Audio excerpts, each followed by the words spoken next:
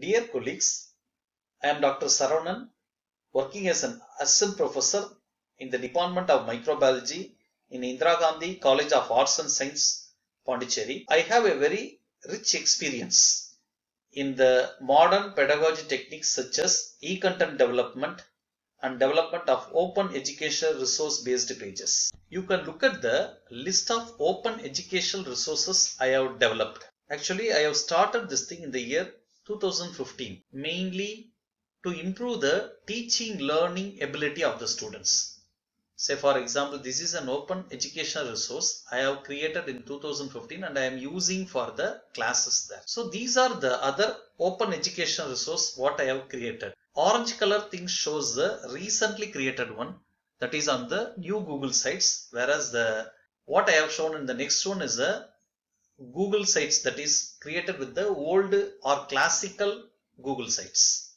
Now we will try to look into a recently created new Google sites based open educational resource pages. So this is an example of a recently created open educational resource web pages mainly to cater the needs of the student as well as improve the teaching learning abilities.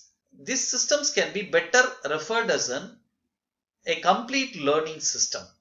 The reason is if you look at you can able to see four quadrants here. Quadrant 1 quadrant 2 quadrant 3 quadrant 4 the first one refers to the notes. And the second one refers to video lecture based learning. The third one refers to the web resources that is certain extra resources a student can able to obtain from the internet and the last quadrant is a question and answer related part that is a quiz related quadrant this kind of quadrants are all actually designed by UGC as well as the Ministry of Education in India. So if you look at here in the right hand side, I have given certain guidelines that are required to be developed for an e-content. It will be commonly having the four quadrants. So the same quadrants have been represented here in my web page also. Say for example, we go into the notes quadrant. You can able to see the link for the notes. If the students are clicking here, they can able to reach into the notes page. That is the notes will be completely downloading there. So from this they can able to download the whole content or if they have some doubts or something a comments need to be marked also they can mark the comments that can be further answered by me or by other faculties. So like that I have prepared for unit 2, unit 3, unit 4 and unit 5. Before looking into this thing, we just look at some point related to the syllabus. As you all aware that syllabus prescribed by the Indian universities will be having normally 5 units.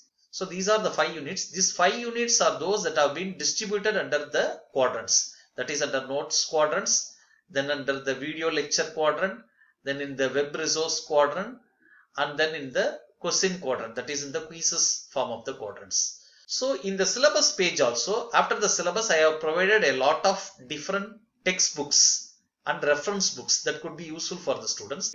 My web page can be just reached by making a Google search. Then I have provided a lot of additional contents there or additional learning resource that are all becoming a very important mandate now in India. Say mainly to read something from the Swayam portals. Swayam portals offer a lot of different courses, basic courses and even certain advanced courses. Most of the basic courses related to my subjects will be available there. So I have provided that link also. Then I have provided the mo model question paper that is term and question paper model has been provided here. At the end if you go you can able to find the syllabus as well as the model term and question paper related content has been available as a PDF file. So this file the students can able to download by clicking here. So this is the entire content what we have seen is been available or given as a PDF resource. Then I have also provided an opportunity for the students to download the previous year question papers concerned to my subject. That is my subject has been taught in the especially in this uh, CBCS model that is choice based credit system.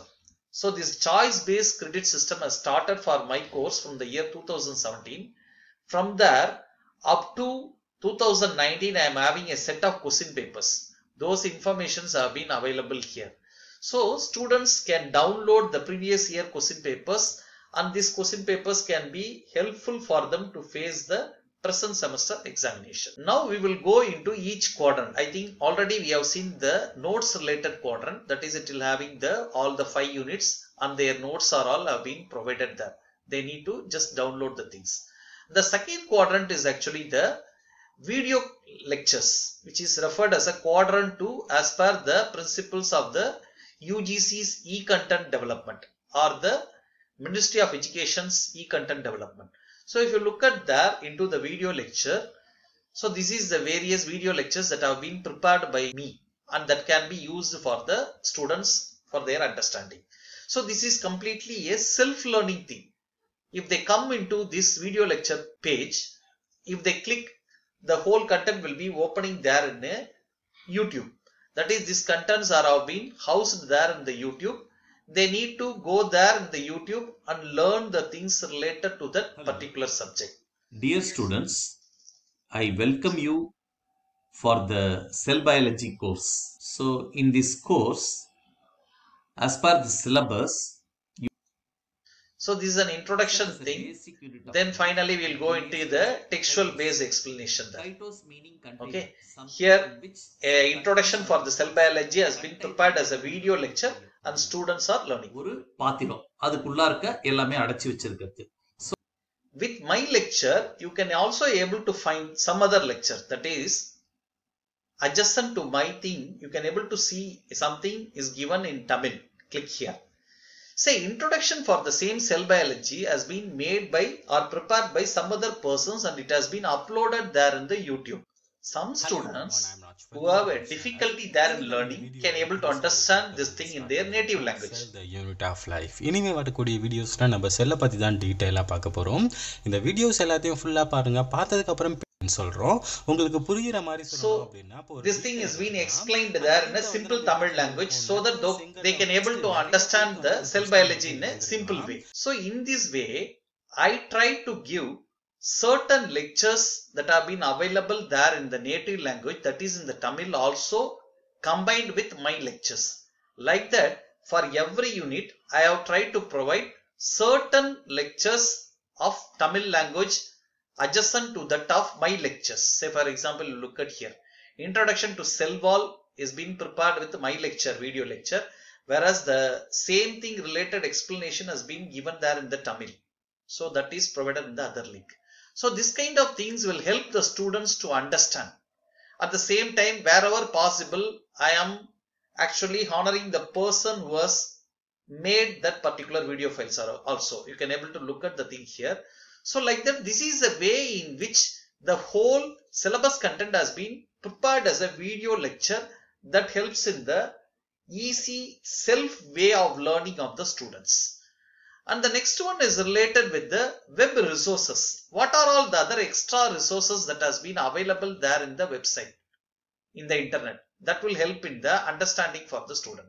Say for example, you look at here, the cell biology could be very easily learned by this particular game that is cellcraft. So students can able to play this game by playing itself they can able to understand the concepts there in the cell biology.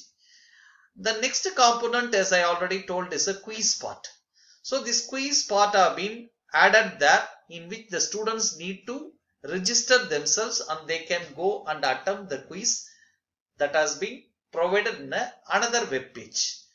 So by this they can able to understand what are the things they have learned in the subject or what is the level at which they have learned. This is the way in which the final quadrant have been kept there in the web page that helps the students to self-evaluate themselves what they have learned in that particular subject. And the next one is a discussion forum. Here discussion forum is related with doubt clearance. If students are getting some doubts, they can directly email me or they can send me in the WhatsApp. I can able to clear the things there. Then the next tab is related with the practical.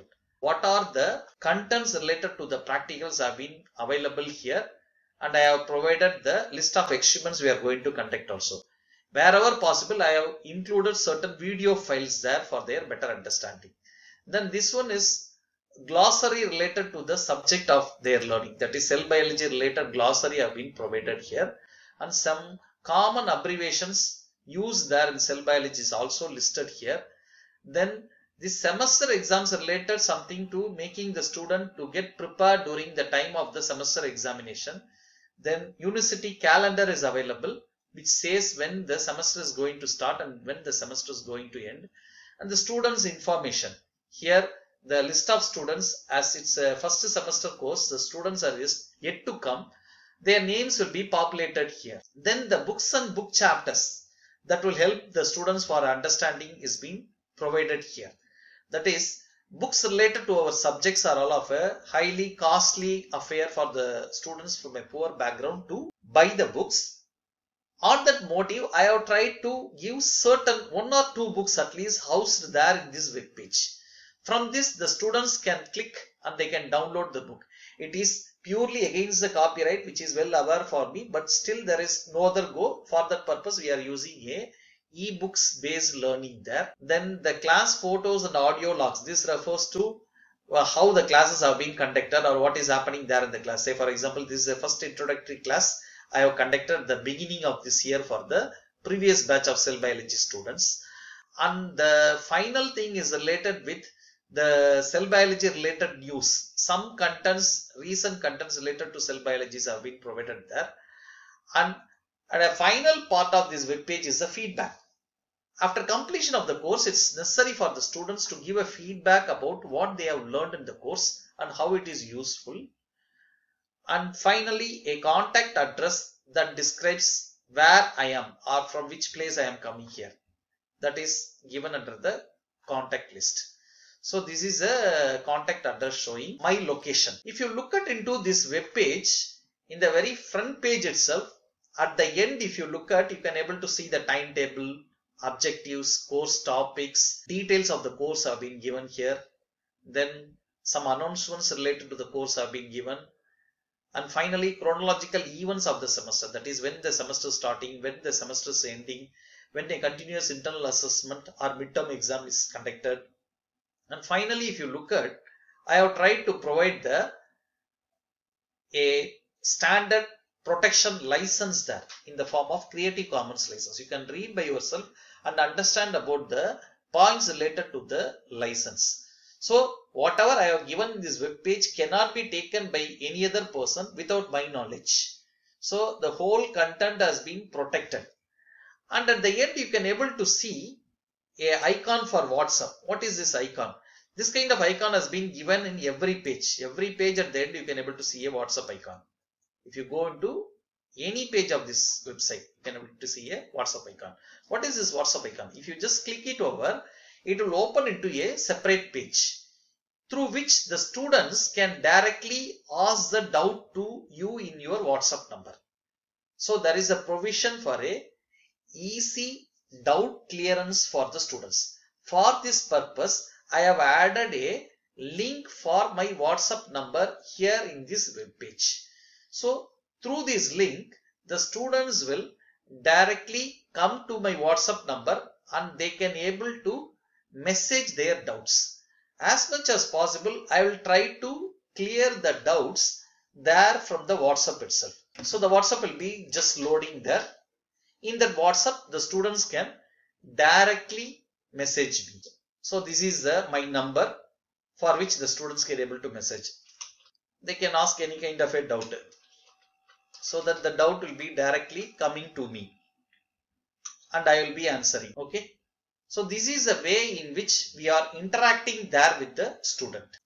The next interesting thing of this open educational resource based web pages is they are completely compatible with the Android version that has been commonly available in the smart mobiles. So these web pages can be effectively opened there in the smartphone and the students can able to understand and read the contents there. Finally, a few points related to the Creative Commons license what I am holding for this web page. So these pages, as I already discussed, has been created in the year 2015 as the old Google sites. Now it has been revamped into new sites and kept under the license that have been indicated there in the image, which says that a credit need to be given to the person who has created the skeleton for this web page. Then it can be used for any person on a non-commercial basis that refers to NC. SA refers to share alike. So whatever content or whatever thing I have prepared, it can be shared alike to the other person.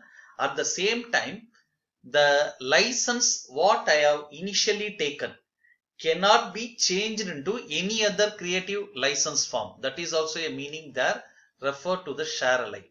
So in this way, I can share to any persons from a school teacher to a university faculty, especially for improving the teaching learning of the subject what they are teaching.